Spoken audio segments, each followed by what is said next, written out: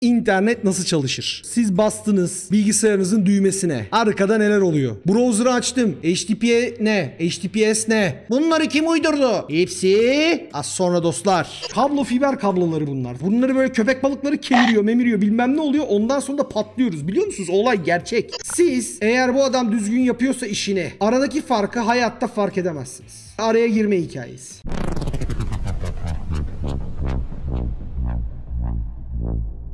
Şimdi sevgili dostlar, mevzuya girmeden evvel internette bütün cihazlar birbirleriyle IP adresleriyle bağlı ya. Elimizde IP adreslerimiz var. Neler IP adresi kullanıyor? İşte Internet of Things dediğimiz hani internete bağlanabilen cihazlar, akıllı cihazlar, akılsız cihazlar, bilgisayarlar, telefonlar, printerlar, ıvırlar, zıvırlar, wireless modemler her şey bir IP'ye sahip değil mi? Sahip oldukları bu IP'ler aslında bunların adresi. Yani mektup üzerindeki, zarfın üzerindeki adres gibi düşünebilirsiniz. Bir insanın nerede oturduğunu, kime ait olduğunu bilmem ne bilgisinin hepsi bu adres kısmında yazıyor. Ondan sonra biz de aynı bir postacı gibi paketleri birbirlerine gönderiyoruz. Hatta burada bir OSI layer'ları kavramı var. 7. seviyeden 1. seviyeye kadar her Ethernet kartının, her Ethernet veya interface kartın bir MAC adresi var. Bu MAC adresleri switch'e bağlanıyor, hub'a bağlanıyor, bilmem neye Ethernet'iniz bağladığınız cihazda da tutuluyor falan fıstık. Sizler için birkaç yüz bin tane şey topladım arkadaşlar. Her cihazın kendine ait bir IP adresi var. Bu IP adreslerini normal şartlar altında manuel de verebilirsiniz. Yani elle de belirleyebilirsiniz ama routerları evdeki modemlerimizde vesairede bir DHCP diye bir servis var. DHCP'de de olay şu şekilde gerçekleşiyor. Hani ARP poisoning mevzusundan şöyle hafifçe bir bahsedeceğim. DHCP'de mevzu şöyle gerçekleşiyor. Bilgisayarı açtığınız zaman bilgisayar avazı çıktığı kadar bağırıyor. Yar bana bir IP medet diye tamam mı? Ondan sonra oradan bir tane DHCP makinesi de geliyor diyor ki Sevgili Hacı Çavcav al sana buradan bir tane IP adresi. Hadi diye. Efendim Karagöz'üm siz mi bana IP adresi vereceksiniz? Evet vereceğim Hacı Çavcav. Al sana IP adresi. Tos diyor. tamam mı böyle? Ondan sonra şak diye alıyor IP adresini. Bağırarak yapıyor. Bu arada etrafta oturan seyirciler de böyle yapıyor. Ha salağa bak IP aldı falan. Ha oğlum Muhittin'i gördün mü IP verdi falan. Hacı Cavcav mı verdi Karagöz'e IP'yi falan. falan diye böyle kendi aralarında duyuyorlar olayı. Aynı odanın içinde herkes birbirinden haberdar oluyor. Çünkü broadcast yapıyorlar yani bağırarak anlatıyorlar. Çünkü IP adresi olmayan sistemler kendi aralarında böğürmek suretiyle iletişim kuruyorlar dostlar. Böğürmeleri lazım. Yoksa adresim belli değil, evsiz kalmışım, nasıl gideceğim de alacağım o zaman bana böğürecekler. IP'yi aldıktan sonra medeniyet geliyor bulunduğumuz odaya. Yerleşik hayata geçiyorsun ondan sonra da bir anda böyle. Aldın IP'yi abi sen mutlu huzurlu takılıyorsun. Google'a gideceğim ben. Lan oğlum Google bizim evde mi? Yok oğlum Google bizim evde değil. E peki bizim evde olduğunu olmadığını nereden biliyorum? Kilit soru.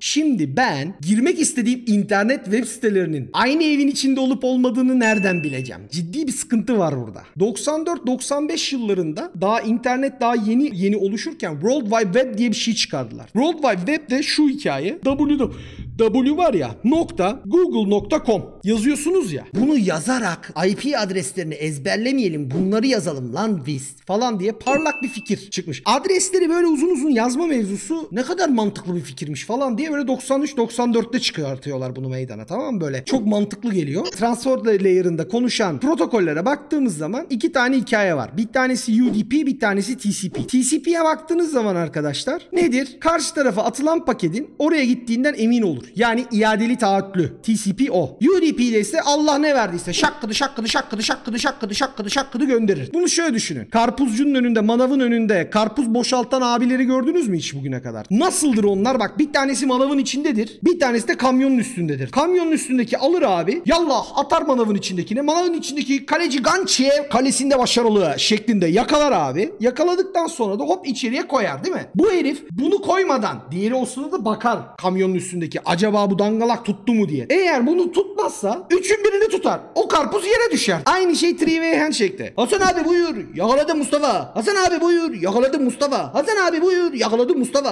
Hasan abi buyur diye böyle TCP'deki handshake hikayesi de bu tamam mı? Hasan abiyle Mustafa'nın birbirleri arasında karpuz savaşı. Bir taraf alıyor, diğer taraf tutuyor. Bir taraf alıyor, diğer taraf tutuyor. Sonra aşağıdaki yukarıya gönderiyor. O da onu yakalıyor. Hop koyuyor böyle. Tık tık tık paketler kendi aralarında karşı tarafa gitti mi gitmedi mi bunu biliyoruz. Bunu anlıyoruz. UDP ne biliyor musunuz? UDP kar topu savaşı. Senin ananı avradını tıp şak şak sallıyorsun. Kaçına vurursa tamam mı? Umurumda değil. Artık herif kardan adamı dönmüş. Ondan sonra bilmem ne olmuş. Bu da UDP. Mantık bu. Bu şekilde çalışıyor. Neyse. TCP'de de el sıkışması hikayesi var arkadaşlar. Anlattığım gibi paketleri kontrollerini yapıyorsunuz. Ondan sonra abi siz bunları yaptıktan sonra evden internete nasıl çıkıyorsunuz? Bak burası biraz enteresan. Şimdi senin burada bir tane wireless modemin var. Burada da bilgisayarın var. Buradan Wi-Fi'ye bağlanıyorsun sen veya işte atıyorum kabloyla bağlanıyorsun. O da geliyor senin evdeki router'ına, modemine bağlanıyor. Şimdi evdeki modemin bir tane dış bacak IP'si alıyor. Bu modem bu evin içinde ya. Bunun bir dış bacak IP'si var bir de iç bacak IP'si var. O sizin gördüğünüz 192 168 hede bilmem ne falan filan var ya. O iç bacak IP'si tamam mı? Private IP diyoruz ona. Onun bir de dış bacak IP'si var. Hani giriyorsunuz 82 105 bilmem ne bilmem ne diye bir IP'niz ya. whatismyip.com'a giriyorsunuz böyle bir sürü değişik IP çıkıyor ya. O da sizin dış bacak IP'niz. O arkadaşlar böyle bir sizin evinizdeki fiber kutusu var. O kutu gidiyor mahalledeki fiber kutuya. Oradan da kendi aralarındaki junction noktalarından, santralden geliyor. Bunlar bazen apartmanın girişinde de olabilir. Fiberle ana ISP'nin bulunduğu internet servis sağlayıcının ana merkezine geliyor. Veya bölgesel pop noktası diyoruz bunlara. Pop noktasına geliyor arkadaşlar. Pop noktasına geldikten sonra bu bilgi işte CMTS dediğimiz bizim pop'un terminator olduğu bölgeye gelir. Terminasyon olan bölgeye gelir. Oradan da ana data center'a gelir. Şimdi ana data center'da burada bir tane router var sizi internete taşıyan. Sizin bu bağlantıyı sağlamakta işte modeminizin doğru konfigürasyona sahip olup olmadığını kontrol eden bu ISP'yi kullanmaya hakkınız var mı yok mu bilmem neyi söyleyen sizin yaşamaya hakkınız var mı yok mu internette varlık olarak hayatınızı sürdürebilir misiniz sürdüremezsiniz hepsini bu arkadaş karar veriyor. Nasıl karar veriyor? Data Center'daki bir radio sistemi olabilir, takaks olabilir, başka bir şey olabilir. Onlardan sizi authenticate ediyor ve ondan sonra siz bağlantınızı sağlıyorsunuz. Siz internete bağlantıyı sağladıktan sonra arkadaşlar aslında mevzu basit.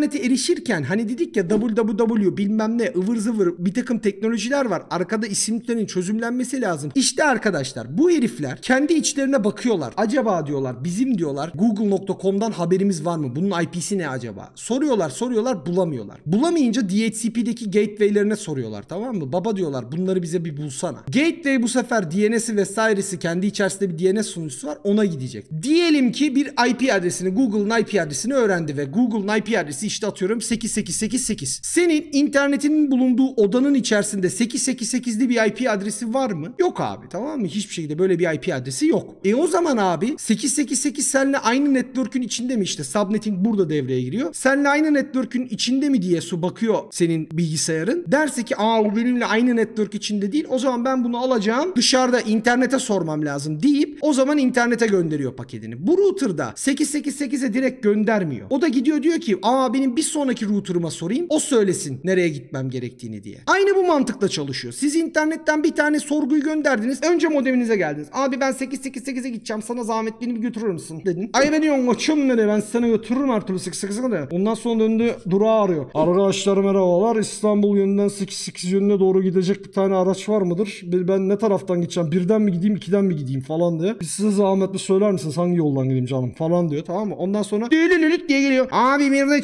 çalışma var ikiden devam et tamam tamam diyor. Sağ ol Muharrem'cim teşekkür ederim canım diyor tamam. Abla ikiden götürüyorum diyor tamam hop ikinci köprüden alıyor seni götürmeye başlıyor. Şimdi ikinci köprüden 888'e gitmesini biliyor ama ulan ikinci köprüden geçti karşıya ondan sonra bilmiyor tamam mı? Nasıl gideceğini bilmiyor 88'e. Şimdi ikinci köprüde diyor ki abla şimdi sağda bir tane bakkal var ben ona bir sorayım adres neresiymiş diyor. Ondan sonra diyor ki 888'i bakkal bilmez değil mi abi? Nereden bilecek 888'i? Ama diyor ki Abi bana işte atıyorum Kozya Alışveriş Merkezi ne tarafta diye soruyor bakkala. Bakkal diyor ki buradan ikinci köprüye dümdüz git Çekmeköy. Ondan sonra geçiyorsun Ataşehir. Oradan dümdüz aşağı doğru devam et. Orada sor birilerine diyor. Tamam? Adam da geçiyor arabaya. Tamam abi diyor. Basıyor gidiyor gidiyor gidiyor gidiyor gidiyor gidiyor gidiyor temden. En sonunda geliyor şeye artık İnönü Caddesi'ne giriyor. Tamam mı? Koz yatağına. Orada soruyor. Kozya'ya nereden gideceğim diye bir daha soruyor birine. Oradaki bakkal diyor ki abi şuradan sola dön dümdüz Bayar Caddesi'nden aşağı in tam karşına çıkacak diyor. Hop gidiyor. Oraya varınca Kozya'ya varınca da ablacım diyor ben kapıya kadar getirdim. Şimdi bundan sonra 888 dükkanını bulmak senin işin. Buyur gir alışveriş merkezinin içine. Bak bakalım neymiş diyor. Sen de iniyorsun sağ kardeşiyorsun al parasını diyorsun gidiyorsun. Router'lar da böyle çalışıyor. Asla 88'in yerini bilmez. Şimdi sen taksiciye gittin dedin ki ben Can Değer'in evine gideceğim. Dalga mı geçiyorsun oğlum? Can Değer kim diyecek. Nereden bilsin herif benim evimi? Ama ne diyeceksin ona? Ya biz bir karşıya geçelim ikiden. Ondan sonra da Kozi'ye gideceğiz. Dersen adam seni götürür. O mantık işte. Şimdi Can Değer'in adresinin 888 olduğunu nereden anlayacağız? Nasıl oluyor peki? Peki? Mesela bu routerlar nasıl çalışıyor? Şimdi Kozi ile İstanbul'u çözdük. Peki San Francisco'daki Google'a nasıl gideceğiz baba biz? Arada bir sürü ülke var. İşte ISP'ler abi birbirlerinden haberdar olan bakkallara sahip. Nasıl yani? Basbayağı ya. Bu bakkallar kendi aralarında konuşuyorlar. Bunların bir WhatsApp grubu var. Kim adres sorarsa onu nereye göndereceğini gösteriyor. İşte arkadaşlar buna BGP diyoruz. Border Gateway Protocol tamam mı? Otonom sistem de deniyor. AC de deniyor. Bunlar bakkal WhatsApp grubu. Kendi aralarında konuşuyorlar abi. Senin hangi ülkeden çıkıp bu ülkeden çıkıp hangi ülkeye gitmek istiyorsan hangi yollardan hangi şeylerden gideceğini bunlar biliyorlar. Bunlar da arkadaşlar kendi içerilerinde exchange point falan diyorlar. Onlar kendi aralarında yan tarafa announce ederek aralarındaki konuşmaları gerçekleştiriyorlar. Hikaye bu. Ya baksana oğlum olaya. Adamlar kabloları ülkeler arası çekmişler. Bakkallar zinciri WhatsApp ülkeler arası bak kablo fiber kabloları bunlar tamam mı? Şurası Nautilus bak. Şu mavi olan Nautilus'tur. Ünlü. Bütün internet şeyi. Bunları böyle köpek balıkları kemiriyor memiriyor bilmem ne oluyor. Ondan sonra da patlıyoruz. Biliyor musunuz? Olay gerçek. Böyle rezil bir durum var. Yani bunlar sadece router olarak düşünmeyin. Hani izafi olarak düşünmeyin. Aynı zamanda kablosal olarak da var. Fiziksel olarak bunlar bu kablolar var ve buralarda da döşenmiş durumda. Yurt dışındaki internet bağlantılarını sağlayan kablolar bu kablolar. DNS'e gelelim. Hani anlattım ya yurt dışındaki yerlerden gelecek, yurt dışında olacak falan filan bir sürü nanemiz var. Peki abi biz bunun yurt dışında olduğunu, böyle yerlerden geldiğini nereden bileceğiz? Yani nasıl oluyor bu işler? Mesela siz bilgisayarda yazdınız ya google.com. Bu gidecek bir tane domain name server'a işte DNS sistemine gidecek soracak. Oradan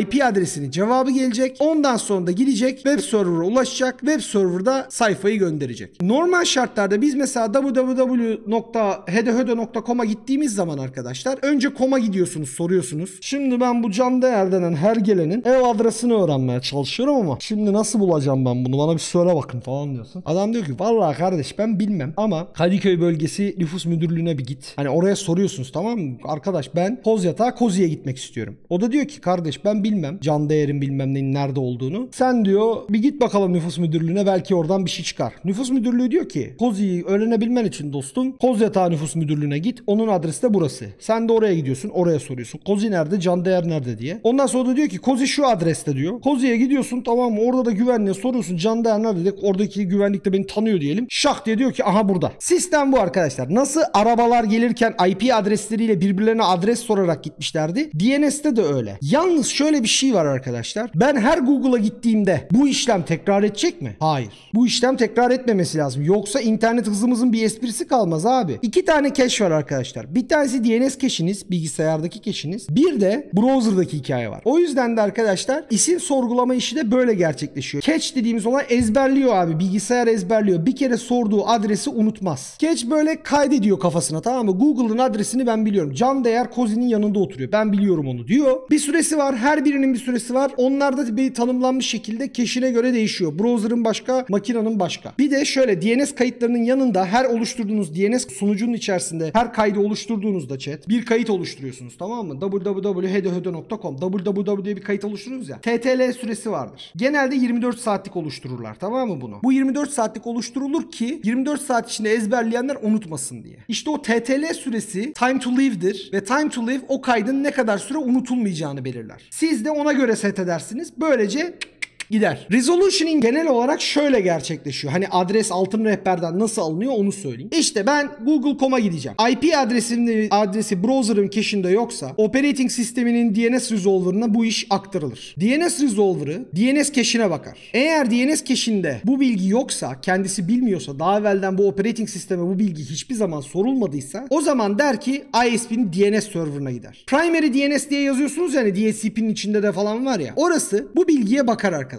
Eğer bu bilgiye ait bir bilgi ISP'nin primary DNS'inde yok ise bazen olur çünkü başkası çözdürmüştür. Bunun cache'inde de bulunur. Eğer böyle bir şey yoksa arkadaşlar o zaman root name serverlarına gider. Hani demin demişim ya .com root'tur diye. Root'a gidiyor soruyor. Root diyor ki abi ben bunu bilmem ama kime soracağını bilirim der. Ondan sonra com'a gönderir. Com der ki abi ben bunu bilmem veya bilir ama şunu bilir. İşte atıyorum google.com'u bilir. www'nun adresini bilmez. Abi ben bilmem ama sana Google Google.com'u vereyim sen git ona bir sor der. Senin DNS'in alır bunu. Ondan sonra gider www.google.com'un DNS'ine gider. Gittikten sonra da ona der ki kardeş bana www söyle. www söyledikten sonra bu bilgiyi aldı ya IP adresi karşılığını. Can'ın evini öğrendi ya. Bu bilgiyi gerisin geri cache'e gönderir. Cache IP adresini uygulamaya verir. Uygulama oradan gider. Request'ini yapar. Web sitesi de geri gelir. Statik web sitesiyle dinamik web sitesinin arasında bir fark var. Hani burada dedim ya web sitesini döndürdü. Peki ben HTTP gönderdiğim zaman ne oluyor arkadaşlar? Ben bir tane get request attığım zaman mesela HTTP 1.1'e içerisinde ne gibi şeylerin olduğu, nelerin kabul edildiği, mesela İngilizce olduğu, mesela bunu Burp Suite ile değiştirip tamam mı? Bunun yerine request paketini mesela Fransızca, FR'ye çevirirsiniz. Fransızca sayfa gözükür. Bunların hepsi request'in içerisinde gider. Nasıl bir çalışacağı bilmem ne falan fıstık. Şimdi abi bak burası güzel. Adam da diyor ki tamam 200 okey. Bende böyle bir şey var karşılıyorum. Seni de güzelce gönderiyorum. Bu şekilde gönderiyorum sana. Sen de bu sayfayı görüntüle bak.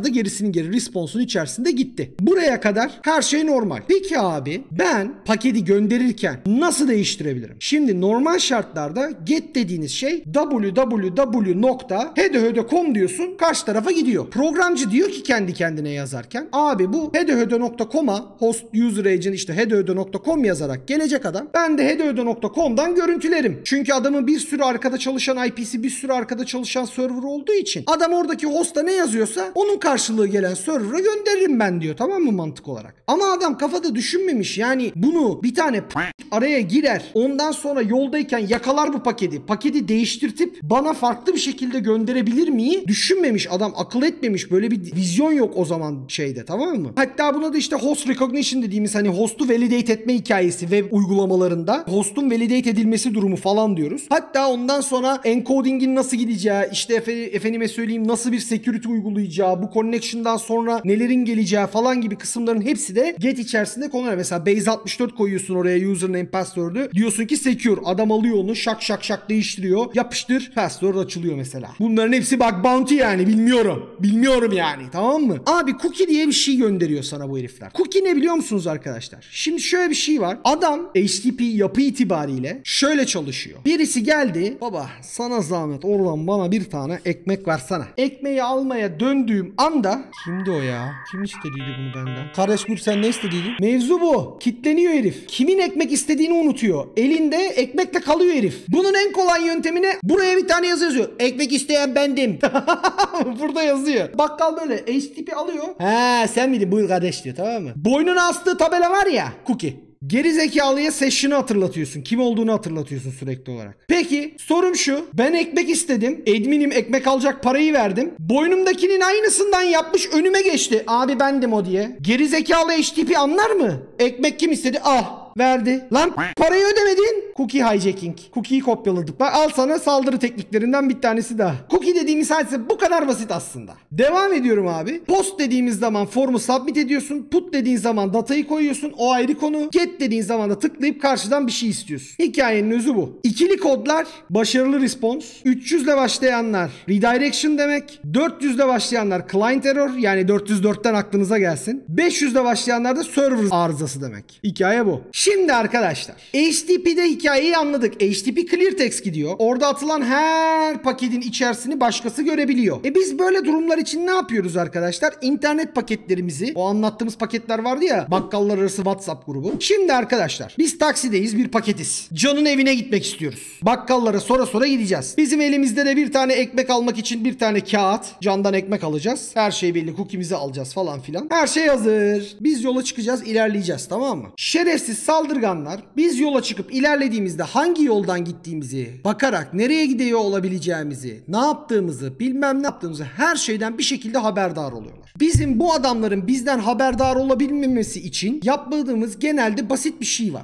Bunlardan bir tanesi ya bütün yolu komple çıkış noktamızdan varış noktasına kadar komple tünel altına alıyoruz. Tünelliyoruz tamam mı komple. Hop Tor, hop VPN, komple, yol komple IPsec, komple tünelin içinden gidiyoruz. Kimse göremiyor. Tünelde de bizden başka kimse yok. Böyle gidebiliriz. Veya ne yapabiliriz abi? Arabayı taksinin rengini değiştiririz. Siyah boyarız. Taksi olduğu belli olmaz. Öyle gideriz. Işığını mışığını sökeriz. Böylece ne olur abi? Paketi enkript ederiz. Tünel kurup bütün yolu kapatmıyoruz. Paketi kapatıyoruz tamam? Kendimizi kamufle ediyoruz. Ya kendimizi kamufle edeceğiz ya yolu komple kapatacağız. İkisinden biri. Ya da bazen ikisini birden yapacağız. Arkadaşlar normal şartlar altında asimetrik encryption var bir de simetrik encryption diye bir kavram var. Asimetrik yapı var simetrik yapı var dediğim zaman hepinizin kafalar karışıyor. Oğlum ben nasıl anlayacağım şimdi asimetrik bu dakika itibariyle anlatacağım her şey şak diye oturacak. Çok basit bir şey söylüyorum. Bilmen gereken 3 tane terim söyleyeceğim sana. Public key infrastructure içerisinde geçiyor bu. Asimetrik encryption, symmetric encryption 4 tane olsun hadi. Public key, private key. PKI diyoruz bu üçüncüne öyle diyecektim de public key infrastructure yani public key, private key. Şimdi tersten geliyorum sana. Private key ne demek? Kişisel anahtar. Public key ne demek? Genel anahtar. Buna key diyerek kafamızı karıştırıyorlar. Aslında hikaye ne biliyor musun dostum? Bak şu kadar basit hikaye. Bir tane asma kilit var. Asma kilit kişinin adı üstünde yazıyor bu asma kilidin. Can diye yazıyor asma kilitte tamam mı? Kilit böyle duruyor. Üstünde can değer yazıyor. Ve bu her yerden erişilebilir bir şekilde herkesin gözü önünde duruyor. Ama bu kilidi açan bir tane anahtar var. O da benim private key'im. Bende bu. Sen bana bir şey göndermek istediğin zaman bu askıda duran benim asma kilidimle alıyorsun kutuyu koy kutunun içine koyuyorsun mesajını. Bu kilidi takıyorsun. Bu kilit takılı olan bu kutuyu bu kilit üstünde olduğu zaman benden başka kim açabilir? Hiç kimse açamaz. Çünkü onun public key, şey, private key bende var sadece değil mi? PKI dediğimiz hani private key, public key mevzusu bu. Public key dediğin bir asma kilit, private key dediğinde bunu açabilen anahtar. Ben birine bir şey göndermek istediğim zaman onun asma kilidiyle bir kutunun içine koyup gönderiyorum. O açabiliyor. O bana göndermek istediğinde benim asma kilidimle kilitleyip açabiliyor. Onu açabilen tek anahtar zaten bende. O yüzden abi bu anahtarlar her zaman public key'ler her zaman kolaylıkla erişilebilir bir şekilde. Bu asimetrik. Çünkü neden asimetrik? Bir public key var bir de private anahtar var. Ulan ikisi birbirinden ayrı. Mantık farklı çalışıyor. İkisi de key aslında. Asma kilit değil yani key ya ikisi de. O yüzden iki tane key üretiyorsun asimetrik oluyor. Simetrikte ne biliyor musun? İkimiz kendi aramızda anlaşıyoruz bir kelime için. Aramızda bir parola belirliyoruz. O parolayla şifreliyoruz bütün kutuları. Enkript ediyoruz bütün kutuları. Ona da simetrik deniyor. Bir tane parola kullanılıyor. Bir tane key var. İkimiz de aynısını kullanıyoruz. Biz iletişim kurarken buna da session key deniyor. Sistem şöyle çalışıyor. Public key'de. Önce asimetrik neydi? Asma kilitle senin anahtarın. Paylaşıyorlar. Sonra session key'ini veriyorsun. Hani bundan sonrası için simetrik olarak hızlı konuşacağımız key'i veriyorum sana diyorsun. Ondan sonra simetrik olarak ortak paydada konuşuyoruz. Hikaye bu. Şimdi HTTPS'i anlatayım size. Bilgisayarınız web server'a request gönderdi. Ben HTTPS ile konuşmak istiyorum diyor tamam mı?